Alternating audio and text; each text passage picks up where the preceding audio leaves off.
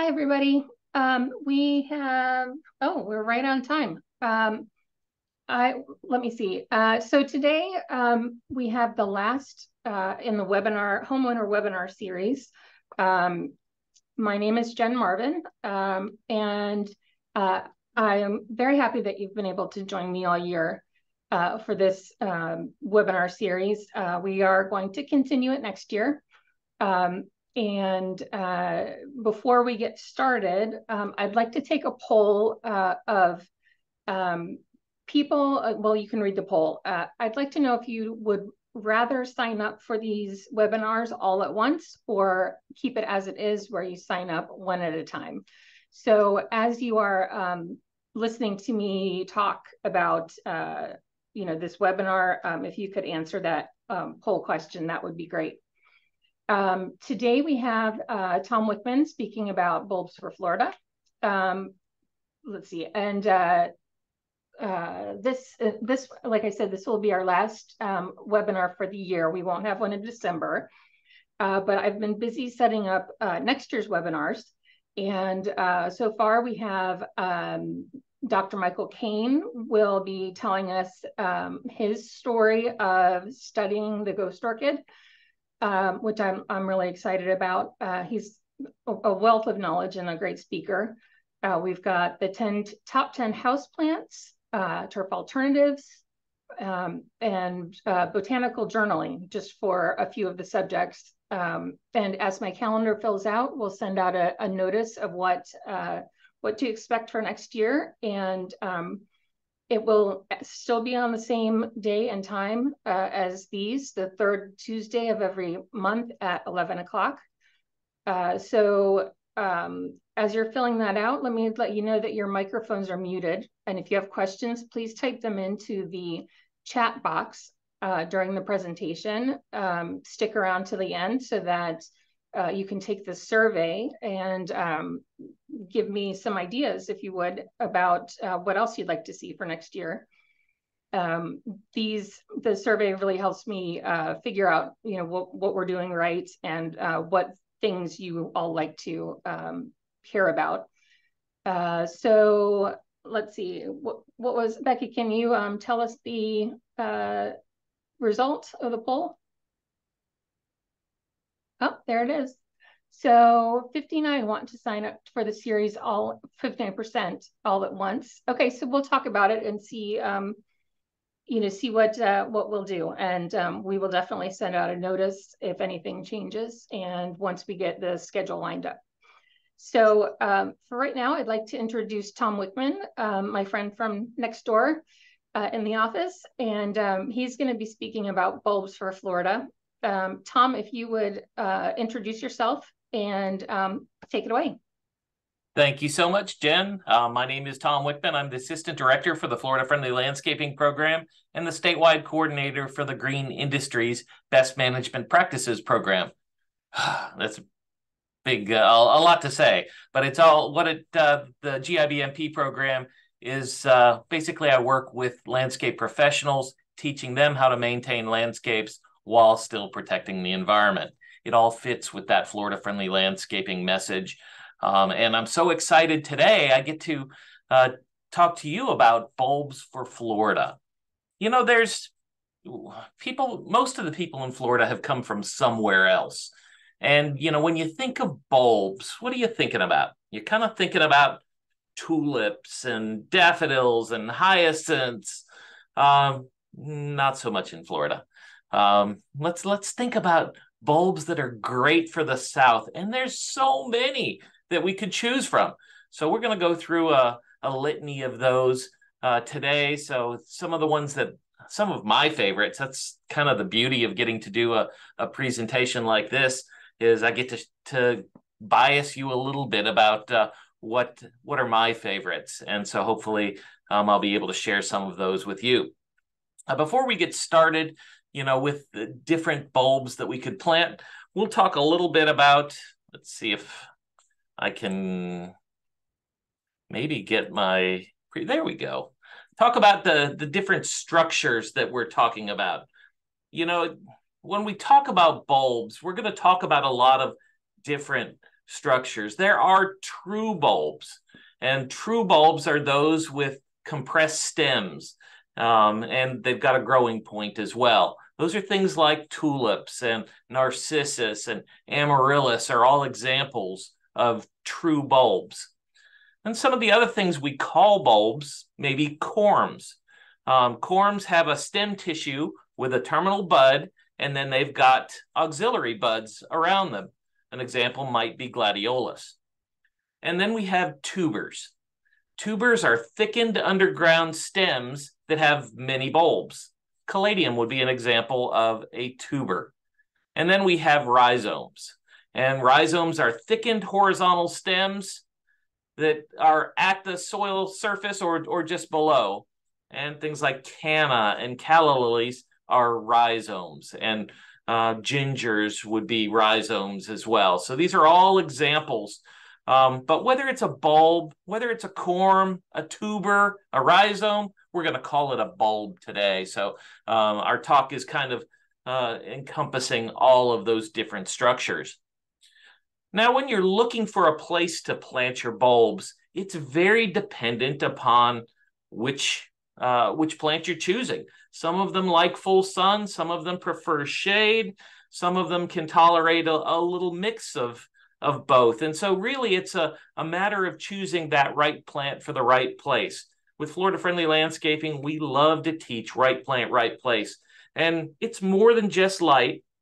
It's into soil and it's um, it's you know everything that goes into that, and including where we are uh, within the country, and making sure we're planting plants that will thrive and do well. Um, so choose your site, you know, specifically to whatever plant that you're planting, and ideally, you know, most of our soils here in Florida are very sandy. They don't have a lot of organic matter.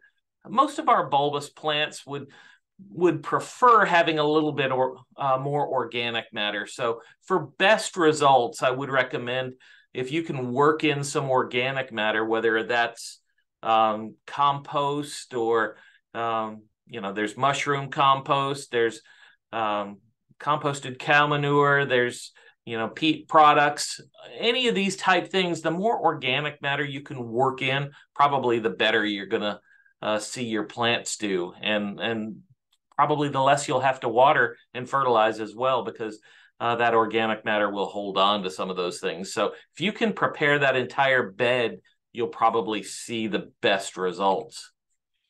And then we've got to obviously take care of watering these these bulbs from time to time. We'll fertilize them. I like to use, again, it depends on which um, bulbs I use. I don't fertilize much in my landscape. I fertilize very little. I have an older landscape. I've been uh, in my home for 21 and a half years. Um, when I moved in, much of the soil there was like sugar sand, almost no organic matter.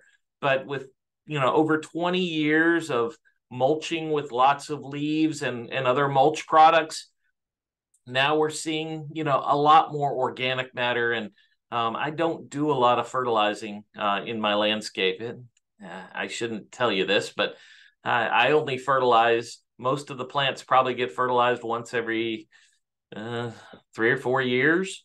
Um, and you know what? They do pretty well. Now, if something's struggling, uh, I may address that. If I see nutrient deficiencies, I may, you know, specifically address that. But I don't do a lot of fertilizing.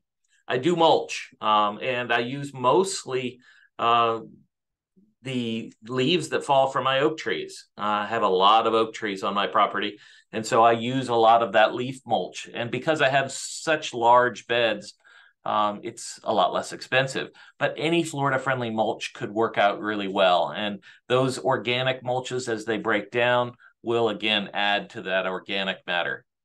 And most of our plants are going to really benefit from deadheading. Uh, unless you're specifically looking at something that you want to set seed to, uh, to continue to uh, increase the number of plants that you have in that area, deadheading is is something that removing the old blooms before they set seed so that plant isn't wasting energy in trying to produce seed uh, you're looking for more and more flowers and in most cases that's what we're looking to do pest control i very much uh, like to teach people about integrated pest management or IPM.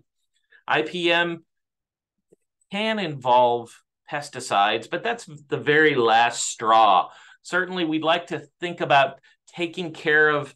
Uh, number one, we're going to scout our landscape on a frequent basis, and so we're gonna we're gonna look and really examine that landscape. And you know, it, it you turn leaves over. And if you find look at leaves that have holes in them see if you can't figure out is the pest there that's making those holes? Um, you know keep the area clean keep it as weed free as possible because sometimes those weeds are going to uh, house various pests that, that can move on to your plants and you know if if you do have to use a pesticide do make sure that you're spot treating as opposed to blanket spraying um, and or, or spraying on a schedule. We want to treat pests when they're there. Um, uh, and actually, we talk about managing pests rather than controlling pests because some pests are can be okay as long as they're not doing a lot of damage. And a lot of times the beneficials will come in and take care of a lot of those pest problems. So you won't have to do any management techniques with them. Um, there are certain pests, especially on lilies, that can be real problem. That's one that's uh, the lubber grasshoppers. Um, if you're growing any lilies, you've probably dealt with the lubber grasshopper. Those are the grasshoppers that get three or four inches. They're quite colorful with colors of yellow and they've got pink wings.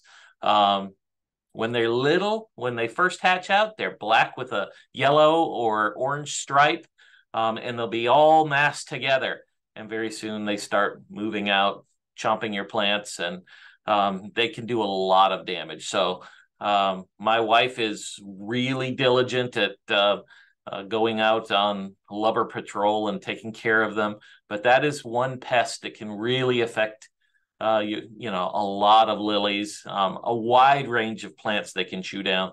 But I've had them do a lot of damage in my landscape. Other than that, I don't have a whole lot of pest problems on really any of my other bulb uh, crops. It's that big one, that lubber grasshopper, that uh, is one that I have to to take care of. And then I get asked a lot of times, where do I buy my bulbs? Where should you buy them? Well, wherever you can find them. Um, you know, some sometimes they're uh, it's really easy to find them at uh, the various plant shows or plant fairs.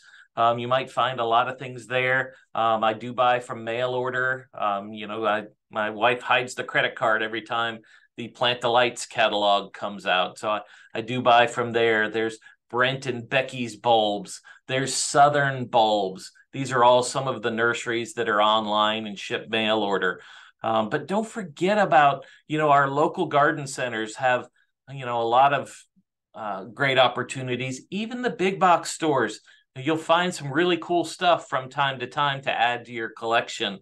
And then there's our societies. Um, and uh, the, it's a great way to to build up your collection just by meeting folks and a lot of times they're going to share uh, some of their collections with you. So, a lot of ways to increase your collection, a lot of ways to find some of these. And a lot of our bulbous plants are some of those pass along plants that, you know, have been, people have been growing for decades. And um, a lot of times people are very willing to share. So let's look at some of these uh, bulbous type plants, and some may be more familiar than others to you. And hopefully um, I'll I'll show you some new ones, some some ones that uh, you're going to really uh, covet. Um, one of these is the Achimenes. Achimenes are an African violet relative, so they're a gesneriid. Uh, they do have a kind of a fuzzy leaf, and they put out these beautiful blooms that oh are maybe about an inch, inch and a half across at most. Um, they come in a wide range of colors, from purples to pinks to white um, and they they work really well in hanging baskets or containers. Um, they do go dormant in the wintertime. So it's really important that you understand that, you know, that they won't be there during the wintertime. And regrettably, I have thrown away um, by accident um, dormant pots of Achimenes bulbs in the past. And um, that's, that's, uh, I've kicked myself for doing that. But um, know that they're they're a great crop, beautiful, beautifully colorful. Um, don't take up a lot of space, don't take a lot of care, but uh, it's it's a fun one. Nice African violet relative. How about the African lily or agapanthus? Uh, agapanthus are one that's used a lot as a ground cover. It's a great ground cover for um, most of the state of Florida. Um, and they come in, traditionally, they were in these uh, umbels of, of blue flowers. Uh, there's also white forms. And now we're seeing all different combinations. We're seeing some, like you see on that image on the left. Um, that's one called Queen Mum that I have in my landscape that you know just performs so well and it's got that that mix of the the uh, bluish purple and the white um, there's a lot of different cultivars coming out and you see like the uh, amethyst storm on the the right. Um, again that's in my landscape and it's so colorful. Um, so uh, you know agapanthus are an old-timey plant. They make a great ground cover. They've got strappy foliage. Um, they probably do best where they get uh, at least a half a day's sun so that they flower well. Um, ideally, probably morning sun, maybe protected from the hottest afternoon sun, but I've, I've seen them do well in full sun and you know they don't flower as well uh, in in more shade but uh, they make a great cut flower as well they those blooms can last for uh, well over a week sometimes up to two weeks uh, cut in a vase so, you know, it's a really good one for you to add to your landscape, especially if you're into uh, cut flowers. How about amaryllis? Amaryllis are are some of those plants that really kind of they they come up and they've got these giant blooms and they really make a statement. And um, you know they come in a wide range of colors different size flowers different uh, size plants as well. Some are bigger than others. Um, and you know it's they can really make an impact. Makes a great gift plant as well. Um, a lot of our amaryllis there are garden uh, varieties that do better uh, planted out in the garden. And then there's a lot of our our hybrids um, that uh, come from europe. And some of those you know probably are a little easier in containers. Um, one of the uh, problems with amaryllis in our sandy soils uh, planted in the ground is they they do tend to sink from uh, just from time to time. And you know that in our sandy soils, they'll they'll tend to settle down, and when, if they get too deep, then they won't flower well. They'll just come up with strappy foliage. And when someone asks me, you know, well, my amaryllis never flower. Um, you know, first question is, tell me about the sunlight. Are they in enough sun? Um, they may or may not be. If that could be the problem, or it could be that they've just sunk too deep and may need to be lifted. Um, one gentleman from the uh, Amaryllis Society here in Florida, um, he talked. Uh, he's got a little trick that he'll actually put a ceramic tile. Won't just get a, a indistinct four by four piece of ceramic tile, and he sets that underneath his amaryllis so that they can't settle down and sink uh, in the soil. So um, that's that's a trick that he uses. I haven't, I've never tried that, but um, I keep most of mine in containers. I do have some garden varieties that I do have planted um, in in the ground, uh, and they do quite well. And then there's the Amazon lily, the Eucharis lily. I've been growing Eucharis for my entire gardening career for over 50 years. And, you know, it's one these, they have these white, wonderfully fragrant blooms, kind of smell lemony, kind of have that, a little bit of that hint of citrus. Um, make a great uh, container plant. The the image you see on the right, um, that's uh, just a plant that's in a big container, and I do bring it in in the wintertime so it doesn't freeze. I know here in Gainesville, a lot of people will plant them in the ground and they'll go dormant in the wintertime um, and then come back in the spring. Um, I keep mine in a container and I do bring that in uh, whenever we have freezing weather. Um, a lot of times we tend to see them bloom heaviest kind of in that that winter time and early spring. So um, it's it's nice for me to keep them in a container so that so that uh, I can enjoy the beautiful flowers and and I can move it around and uh, really highlight it when it's looking its best. But really easy to grow. That's Amazon lily or Eucharis lily. Um, I love this one. This this I have over by my driveway. It's called the blackberry lily or Belamcanda, um, and it's there's only one uh, species of Belamcanda that's chinensis, but there are numerous cultivar selections. Um, the one I have is this orange one. There are yellow forms. There are taller ones. There are shorter ones, but they've got that that really distinct iris-like foliage, um, and they bloom freely uh, through uh, throughout the warm weather. They will uh, set seeds that kind of look a lot like a blackberry. So they've got the clusters of, of black seeds, and they that's where it gets its common name, blackberry lily. And they germinate readily, and it's uh, an easy one to share with other folks that you want. So uh, germinate some blackberry lilies, and you'll you'll be loved by your neighbors in your uh, in your garden space. I love the blood lily. Uh, blood lilies, to me, they look like an erector set. And before the uh, the leaves come up, or about the same time the leaves are coming up, it comes up with these beautiful uh, red blooms that are about four inches across, and uh, they just are almost like a, a firework went off. Um, so really pretty, and these do best in the shade.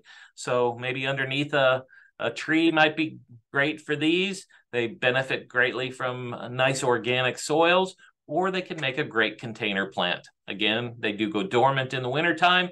You want to make sure not to pitch that pot if if it uh, did have a blood lily bulb in it. Uh, you want to make sure not to throw that away when it's dormant in the wintertime. Caladiums, uh, University of Florida has a, a very um, strong caladium breeding program, uh, and it uh, we have new varieties coming out all the time, and many of there are ones that are best in the shade, and then there are many now that uh, are bred to do well in the sun. When I was growing up, uh, caladiums were I always thought of as a bulb for the shade but there are ones that will love the sun now and you'll see reds and you'll see pinks and you'll see whites in combinations of those.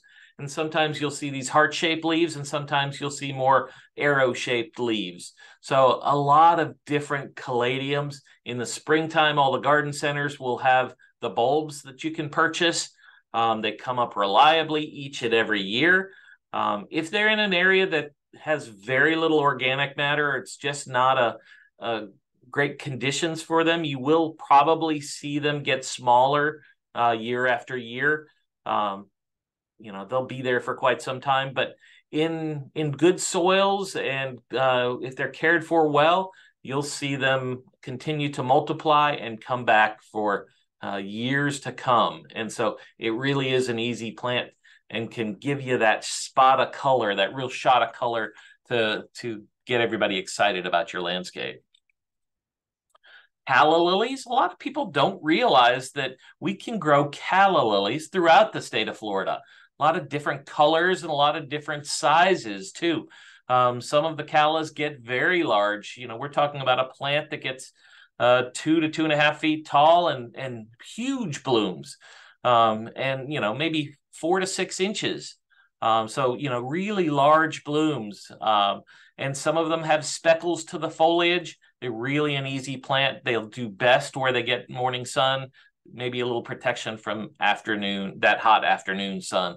But if you haven't grown callas, give them a try. Cannas have been popular for a long time and uh, very easy to grow. They multiply quickly. Again, one you can share. Um, they have can have very colorful foliage or colorful blooms or both. Um, sometimes I some of these uh, blooms take away from the colorful foliage, so um, it really is kind of a balancing act. But uh, you can pick and choose a wide range um, colors from you know pinks and reds and oranges.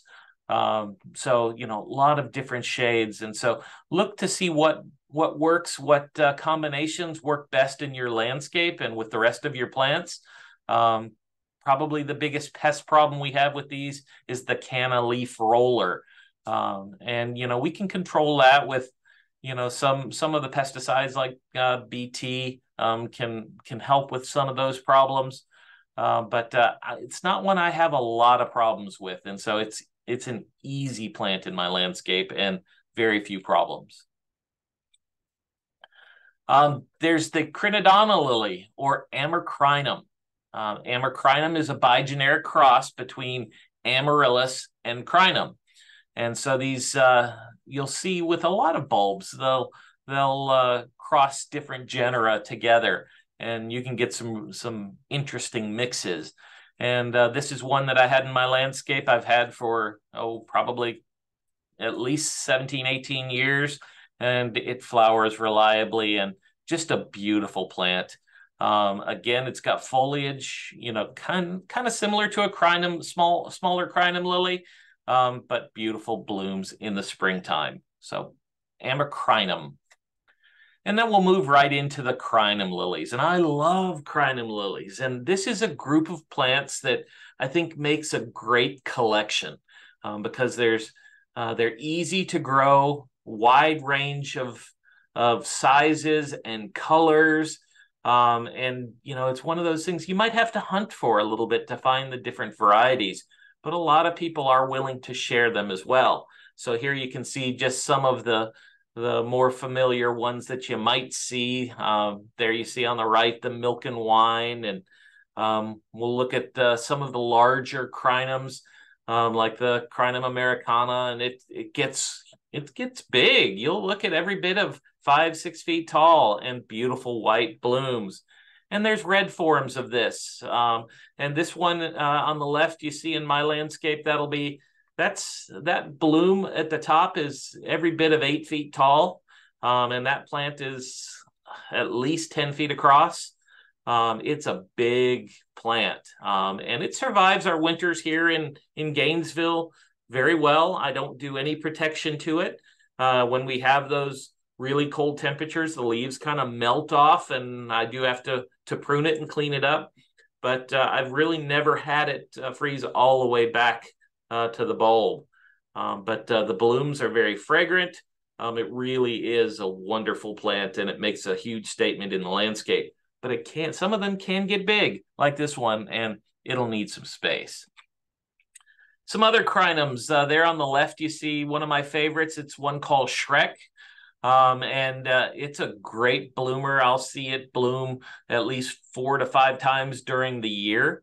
Uh, that one in the middle uh, on uh, the top there. That's one that I bought oh five six years ago. It's one called Peach Blow, um, and um, it's bloomed at least six times this year and is uh, very fragrant. The one below it, the white one below it, is one called Little Stinker. Um, it's got a little lighter fragrance. It's not as fragrant uh, actually as Peach Blow, but um, it's a fun little name to it, uh, and it's it's bloomed reliably as well. So a lot of different types just start looking and you'll you'll see a wide range of blooming seasons of uh, size plant as, as, well as bloom size so it uh, they're fun but they're tough and durable and survivors in the landscape a great one is crocosmia um, when i grew up this is one that i grew up knowing as uh, montbretia but uh, crocosmia is one that I have mixed success with. Um, I don't get a lot of flowers near the flowers that uh, I would hope to get um, on mine, but uh, you know, I have a bed that's probably six feet by three feet, and you know, I get sporadic blooms through that, and it's a pretty easy plant. I don't do anything to it. I don't do a lot of care. Um, probably if I fertilized, I'd get more blooms. Um, but uh, they can be orangey or red and can be stunningly beautiful. So that's crocosmia. Some of the narcissus are just fantastic. Now, we don't think of Florida as being narcissus country. Um, you know, when we're talking about narcissus, we're thinking about those daffodils that are out there. And uh, these are ones that are in my landscape that flower reliably every year. Um, not necessarily as large as some of those that you'll see further north, um, and and maybe not as many blooms as we might see further north but there are narcissus that will do well from central Florida north. So um, that's something to look for. And there uh, there used to be the Florida Daffodil Society, and um, I believe they disbanded maybe in 2018. But their um, some of their newsletters are still up online. So uh, if you're looking for varieties for Florida, that that's where I would uh, be looking for. And you know, there's a, a there's a list of recommended varieties for Florida. Um, some of our extension offices have uh, demonstrations as well, demonstration plantings of narcissus. So check with your local county extension office and um, get those varieties that are performing well. Uh, don't just order anything uh, or you might be disappointed. Dahlias, you know, you don't think of Florida as dahlia country, but you know, if dahlias can perform very well in Florida, um, it just takes uh, really good soil uh, for them to to perform well, and then uh, a little bit of care from time to time. Biggest thing is going to be the key is going to be getting lots of organic matter, keeping that soil rich, um, and your uh, your dahlias can really perform well here, much like they do up north.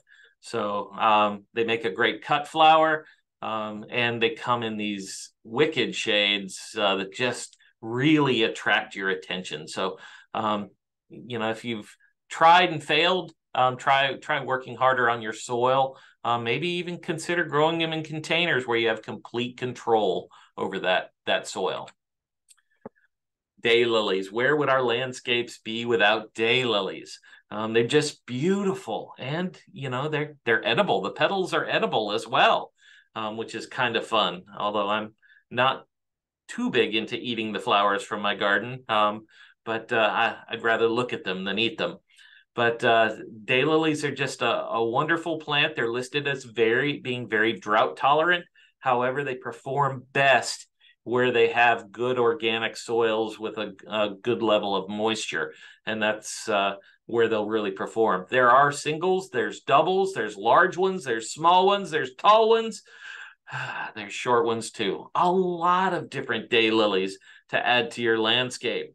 And so it is one that uh, it is best. There are there are evergreen types. There are semi-deciduous, and then there are deciduous ones. Those deciduous ones go completely dormant and come back in the spring with new foliage.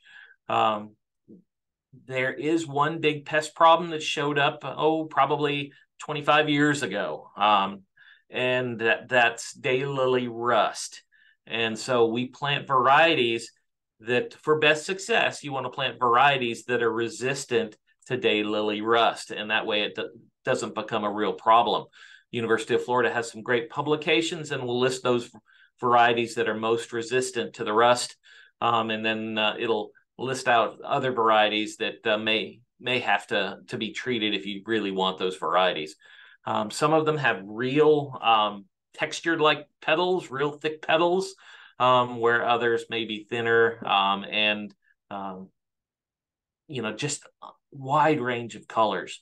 And some of them will really, some of those hybrid ones you see will just really knock your socks off. They they can be quite gorgeous. So think about adding daylilies to your landscape. How about those elephant ears? Um, you know, there's a wide range of them. And normally there are of three main genera that we uh, think of the elephant ears alocasia, colocasia, and xanthosoma. Now, the the big elephant ears, I see bulbs sold uh, all the time. That's Colocasia esculenta. Um, and that is an invasive plant and one that we really don't want to see planted uh, in our landscapes. So, in a lot of the colocasias, if you want to be safe, maybe stay away from the colocasias a little bit and plant the alocasias or the xantha, xanthosomas. Um, they may be less of an issue with inv- invasivity. But certainly a lot of new varieties, a lot of cultivar selections, wide range of colors and sizes. Um, so, you know, these are relatively easy to grow. Um, most, many of them I won't say all, many of them will come back from their bulbous like structure um, even even after going through some freezing temperatures. So a lot of times in my landscape, I'll see them go dormant and then uh, come back um, after uh, the soil warms in the spring. So pretty easy. uh, give them a try and, and see which ones you like the best. Fun little bulb I have in my landscape called Eucrosia, and I don't know a common name for this one, but uh, it'll have this rosette of, oh, about eight to nine inch uh, long leaves and makes a great little basal rosette. And in the spring, it comes up with these kind of odd shaped flowers. And it really can be striking. Very easy. The only pest problem I've had is the lubber grasshoppers do love this one. It's one of the first things they'll go to. So, but it really is an easy one and has performed well year after year for me. Gingers, a wide range of gingers. We'll start first with the alpinias or shell type gingers. Um, and shell or torch type gingers, you'll see these. And um, common landscape plants, uh, they perform very well. Um, even you'll see them used quite a bit even in North Florida. Um, but uh, Central and South Florida, they don't get as damaged in the wintertime. And so um, it can really be stunning additions to the landscape. Um, and it just gives that tropical feel. Um, they'll take some of them do better with a little bit of shade, um, where others can uh, take a little more sun. But uh, shell gingers are are very impactful in the landscape.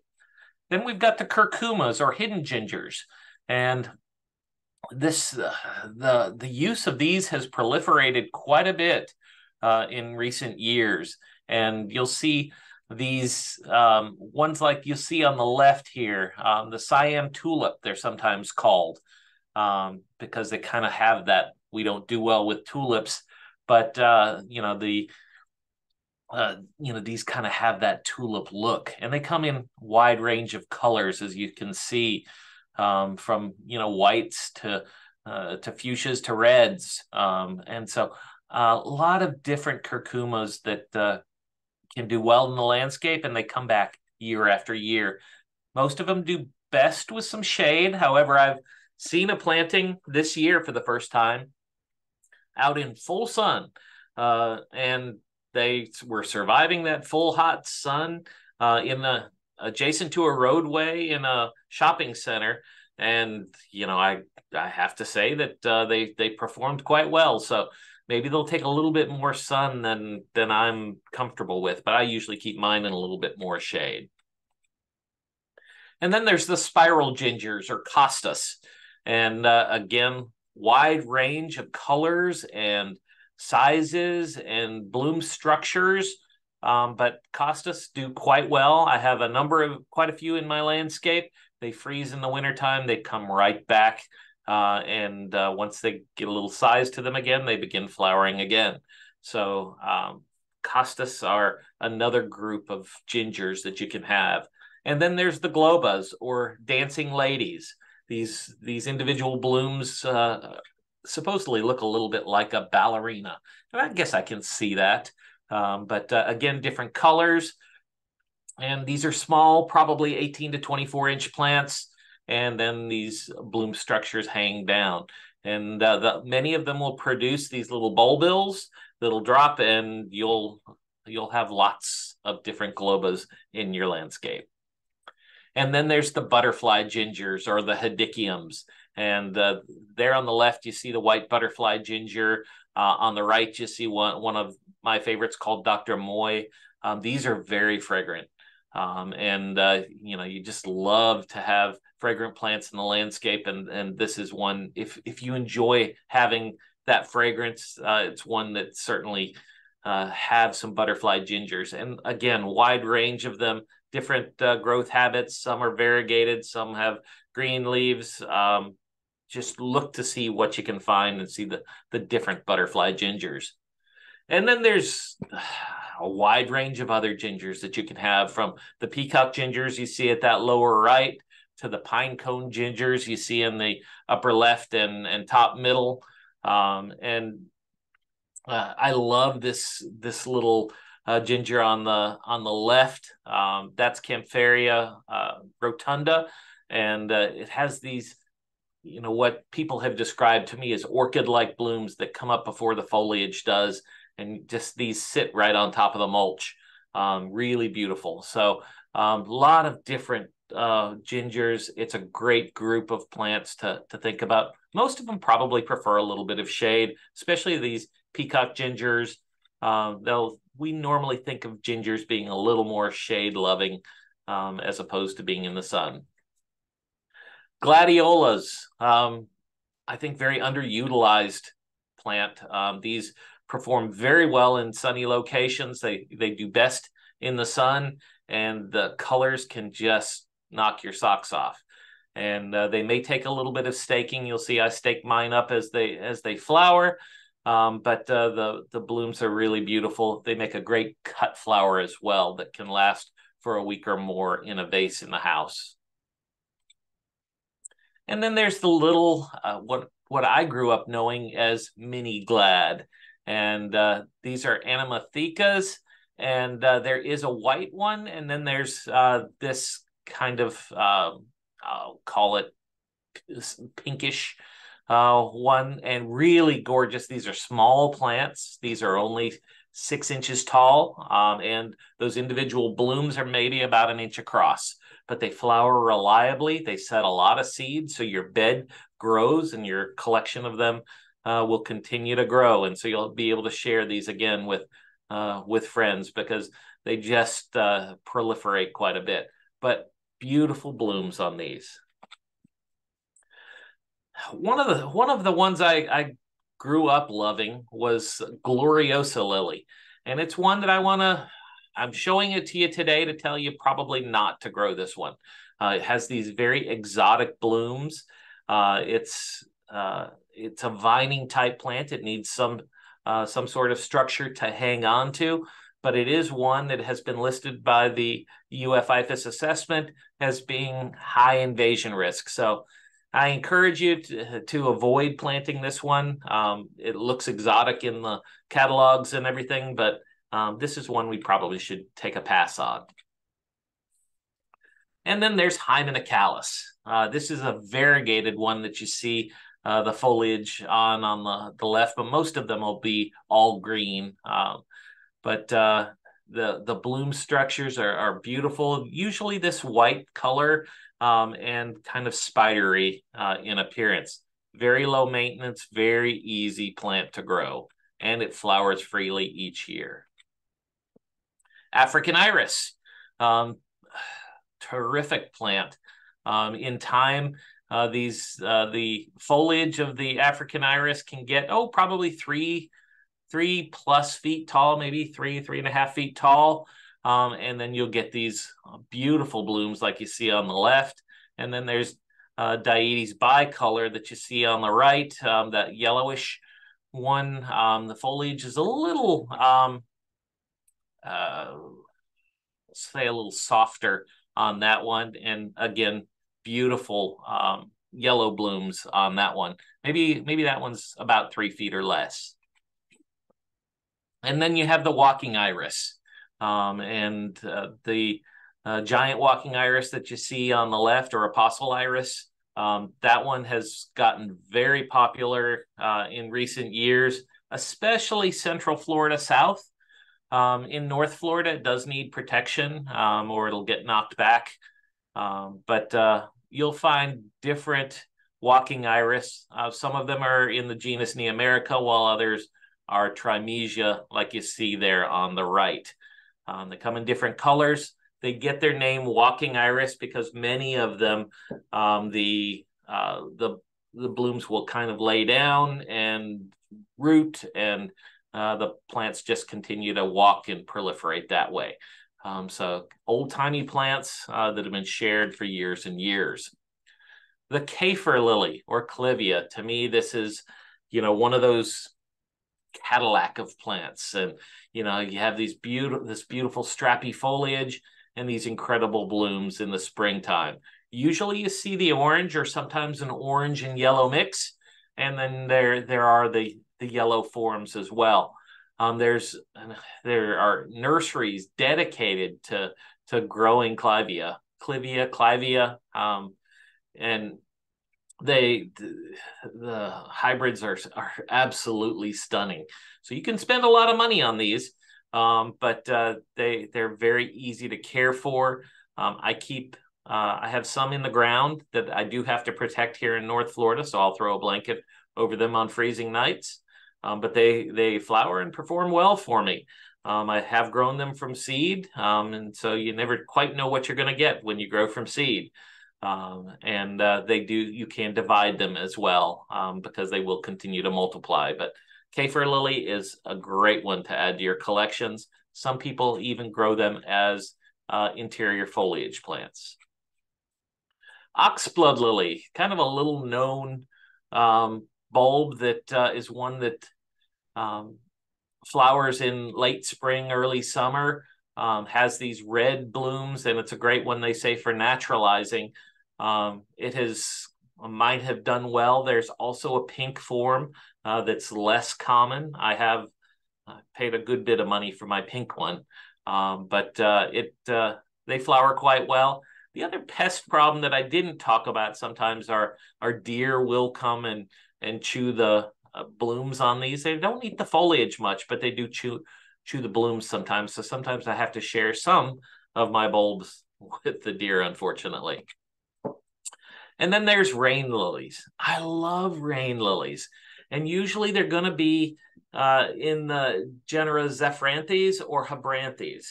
Um, Zephyranthes are typically going to be ones that have their bloom facing straight up and will have one flower to uh, the stem. And then the Habranthes will kind of have more that um, that nodding flower and may have two to three flowers per stem.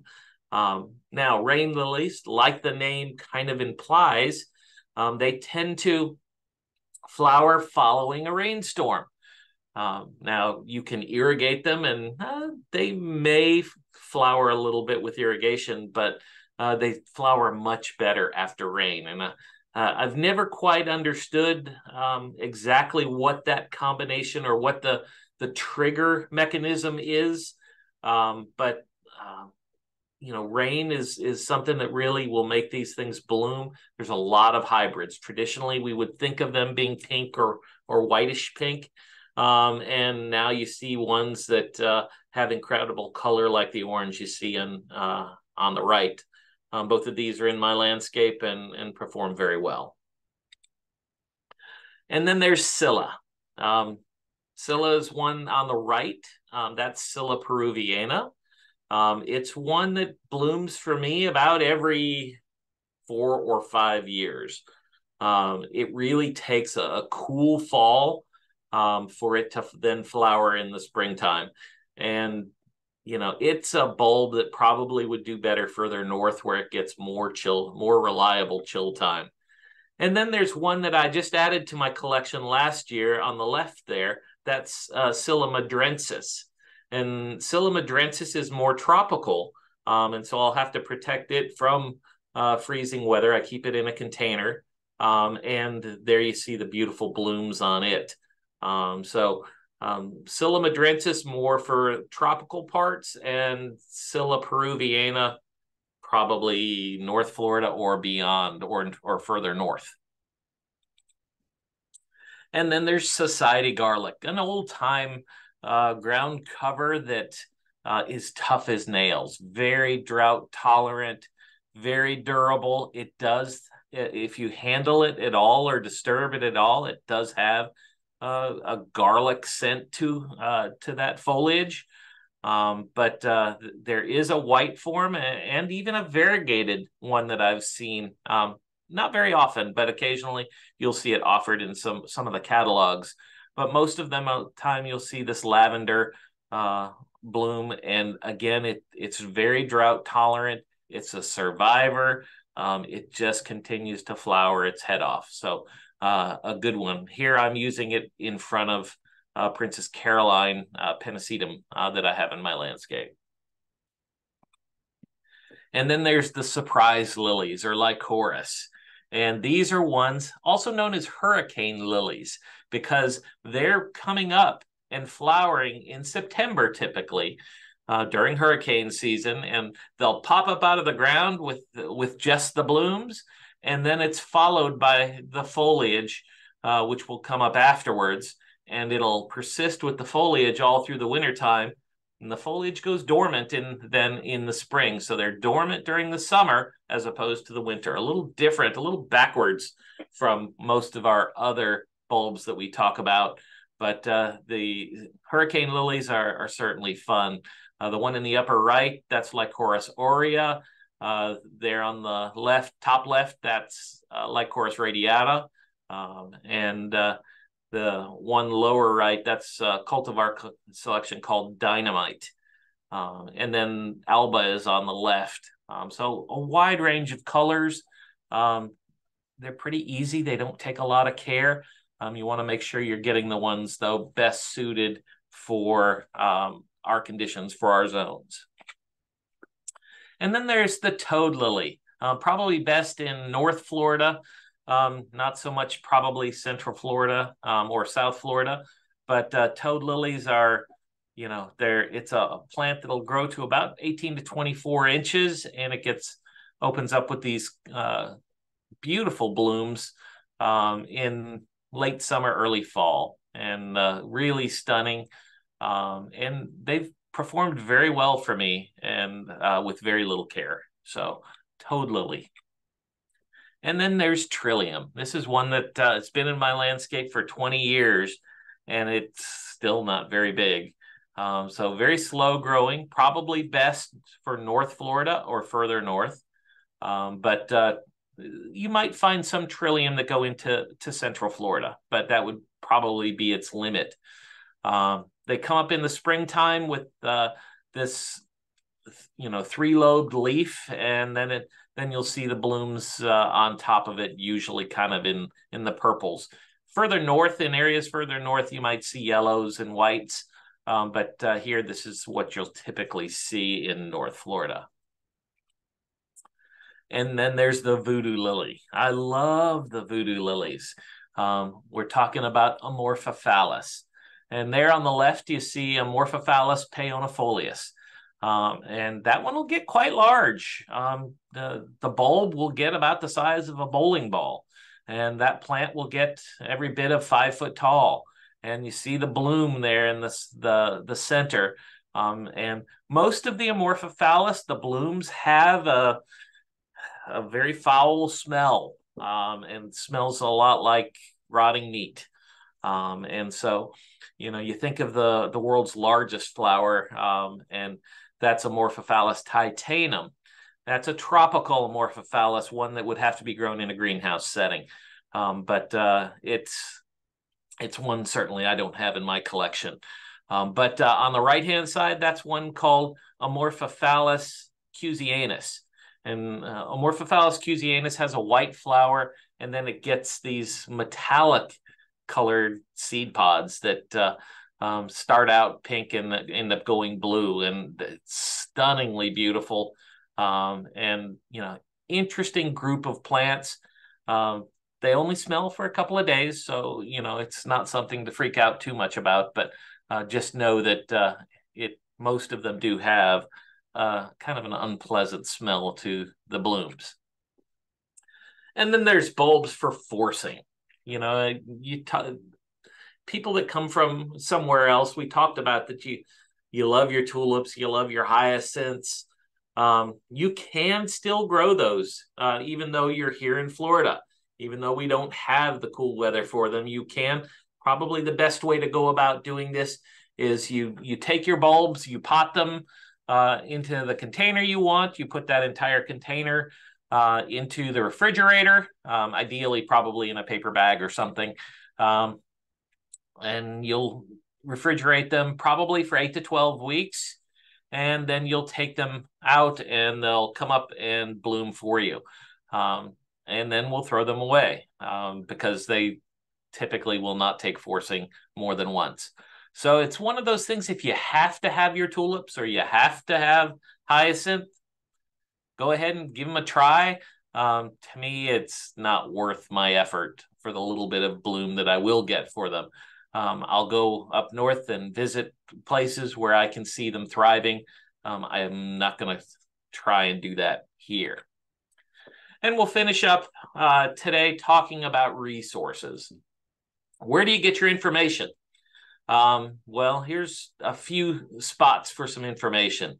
There's uh, the gardening solutions page, and you'll see the website there, gardeningsolutions.ifas.ufl.edu.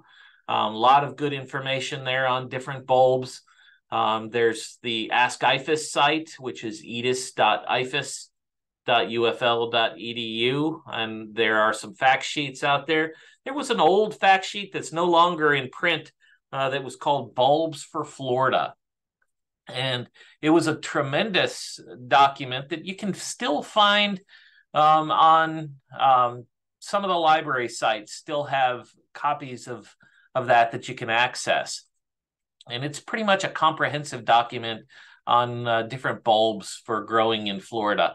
Um, so it's it's one that uh, if you can get your hands on it, it's a, a good one. Um, the book Garden Bulbs for the South is one that I've enjoyed reading and and having on on my bookshelf. Um, it's uh, by Scott Ogden and uh, is a great resource.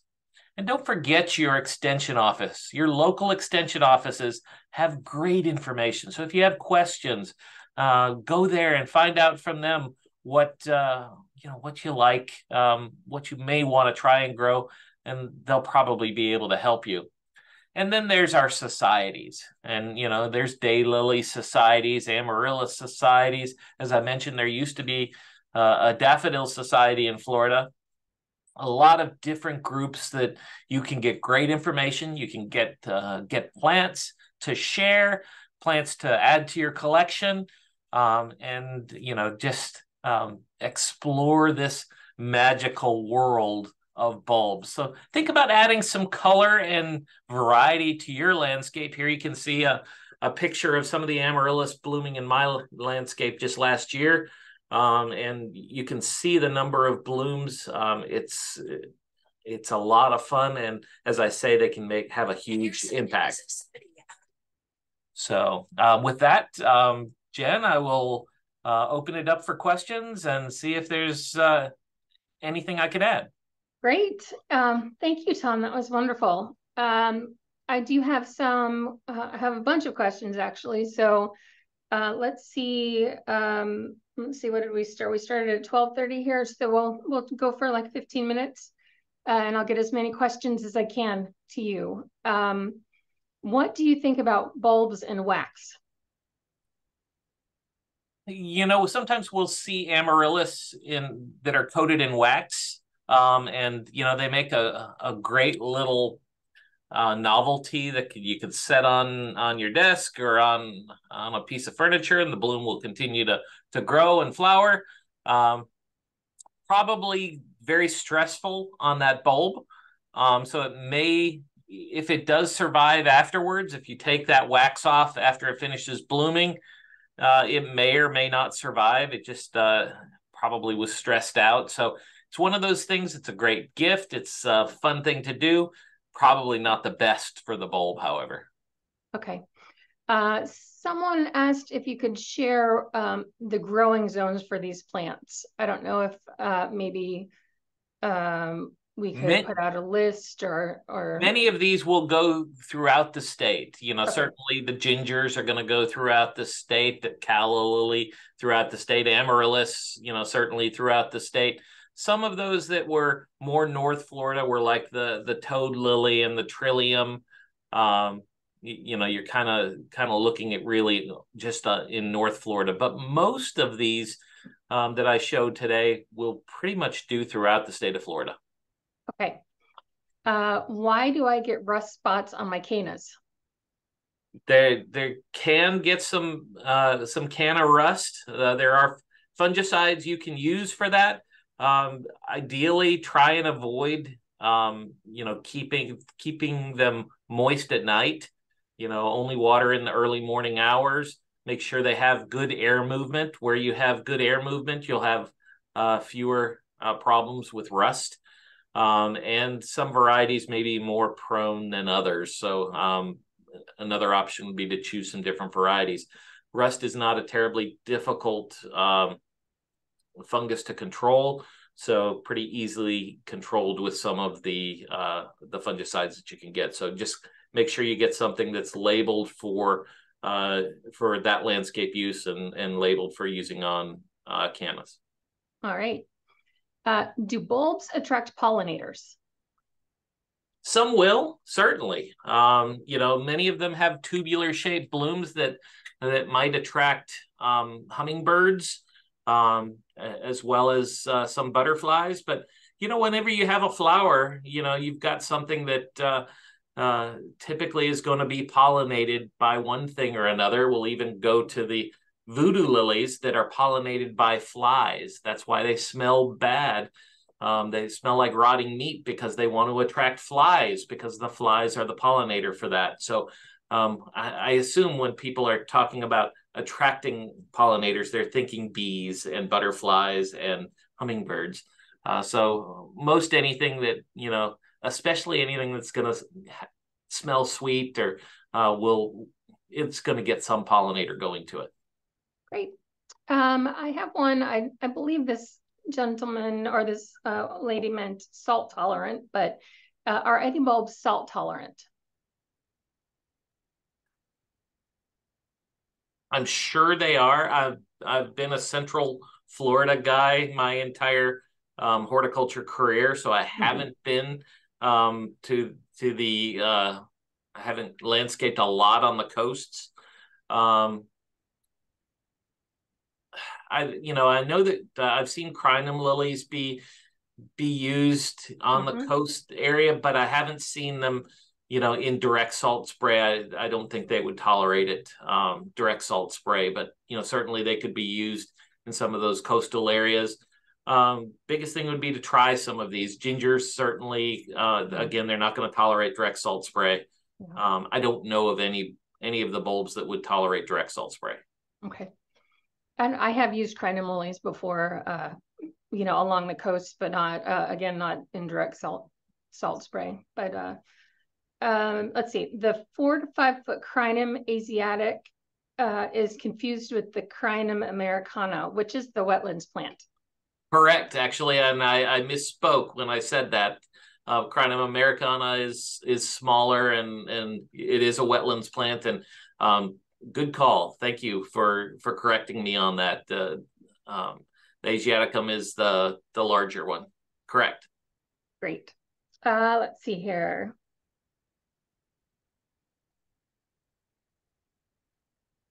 Another question about which bulbs are most salt air tolerant. So that that may be a, a crinum. Um, having a problem with burnt tips on agapanthus, even those with just morning sun burnt tips um, could be a lack of moisture. Um, you know, biggest thing is going to be to make sure that they're they're getting enough moisture, uh, especially during the springtime. We we can be hot and dry, um, and so that that might be the issue. Um, that's that's you know, unless they're just in beating down sun, that would be the thing I would think about most. Uh, is check your water. Great. Um, what ginger can we grow that is like the root we use in cooking? Well, we can grow edible ginger. It just doesn't have as attractive a bloom. And to my knowledge, um, everything that I've, I've ever read, um, all gingers are edible. However, most of them don't taste very good. Mm-hmm. Um, and so it's the the edible ginger. You you'll find that at some of the garden centers. Some of the local garden centers will sell the edible ginger. It just doesn't have uh, as showy a bloom as some of the others, and so um, it's not one that uh, people grow for uh, for the color and and for the landscape value as much as they do just to be able to consume it. So um, it certainly is one that will thrive and do well here. All right. Uh, are the peacock gingers evergreen in South Florida? Mine go dormant in Jacksonville, the comment says. You know, I, I know that they go dormant um, even down in Central Florida. I would assume that they go dormant even in South Florida. So I think they need that break. Um, and I don't think it's just temperature related. I think it's day length has something to do with their um, you know when they go dormant as well so as we start as the days start getting shorter and the nights are getting longer, um, I, I, think they'll go dormant anyway, even down in South Florida. Okay. Uh, are lubbers a problem for costus? For uh, hostas? Costus? Yeah. We, don't, we, don't, grow a lot of hostas. Are no, you co- co- maybe I'm saying it wrong. Costus, C O S T U S. I've never had them chew my my um, costus at all. Um, I've never seen any damage. So, to my knowledge, no. Um, but I have enough other things that they love. Um, so, could they eat them? Probably. I've seen them eat my cycads. I've seen them eat a wide range of plant material, uh, but it's not something I've ever observed. All right. Uh, what uh, lilies are Florida natives? You know, there are some crinums that are that are Florida natives. There's uh, some of the rain lilies are native to to Florida as well. Um, trying to think of there's some there's our native canna. Um, there's uh, native iris um, that we can grow. Our blue flag iris um, certainly are are excellent. Um, just trying to go down down the one, list and think. One, um, so I'm sorry. One comment says, says Zephyranthes. Yeah, the rain rain lilies. Okay. Uh, certainly, and probably those of those there definitely are native selections of all of those. Okay. Um. Here's okay. Can can hosta grow in Central Florida?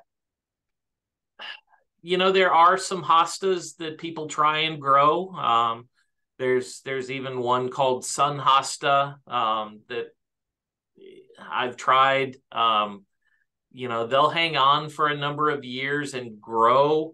Um, they don't thrive. They don't look anything like the hostas do further north. So Florida really is not hosta country. I would stay away from hosta um, and plant something that will do better here. Um, the peacock gingers are a nice substitute for hostas, certainly. Okay. Is the Atamasco lily the same as rain lily? The which? Atamasco, A T A M A S C O. I don't know that one, so I okay. honestly don't know. Uh, let's see. Um, what low ground covers work with bulbs that go dormant? Can you use frog fruit with bulbs to keep we keep down the weeds? You know, I've never thought of interplanting um, my bulbs with frog fruit, but I don't see why it wouldn't. Uh, I think a lot of things could uh, coexist with it. So, um, sure, give it a try. Um, I don't see any reason why it wouldn't work. Right. Uh, Great see. idea. Um, let's see. My caladiums seem to disappear. What is happening? If they're just disappearing, my gut says something dug it up. Maybe, maybe armadillos or something that we're after. Uh, insects, mm. perhaps in the soil. Um, you know, normally, you know, as I said, if the if the soil's not good and and conditions aren't the best, we will see them slowly decline. So you know where it's might be you know 18 inches across the first year, and the next year it may only be 12 inches across, and the next year it might be nine inches across. You know, so we may see them slowly decline. We don't see them disappear typically unless something um, affected that bulb directly. Either something took the bulb, ate the bulb, or or if it was overly wet site, I could see the bulbs rotting. Um, I can't see anything else really happening though. Someone just commented that moles eat my caladiums, so maybe uh, it's uh, mole, moles can certainly do that, but they're they're not trying to eat your caladiums. They're they're normally feeding on insects, and and they might come into contact with them and and damage them that way. Okay. Uh, just a couple more here. Um, what month do you plant daffodil bulbs? Um, typically you're going to be planting. I'm trying to think when they're available. Um, normally you're you're planting them in the fall and winter for spring blooms.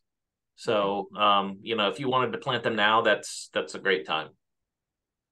Okay. Um, let's see. Can he supply a list of all the bulbs he presented today? I took notes, but would appreciate spelling. Uh, well, we uh, this this uh, webinar is um, taped and will be available on our website, floridafriendlylandscaping.com, um, within probably two weeks. Uh, and you can go back through and um, you know watch it again for for the spelling and uh, for the pictures. Um, let's see. I believe that might be that might be it, Tom. Um, thank you so much for for uh, joining me for my last uh, webinar of the year. Um, it was a, a very successful one. Um, and uh, we hoped that, uh, you know, Tom does, of course, a, a, webinar as well for our program. And uh, we hope that we see all of you um, next year. Tom, I guess you have one more left, but uh, I hope I see all of you next year uh, in January uh, for our um, next series. So everybody have a great day and um, stay safe. Thanks. Thanks, Jen.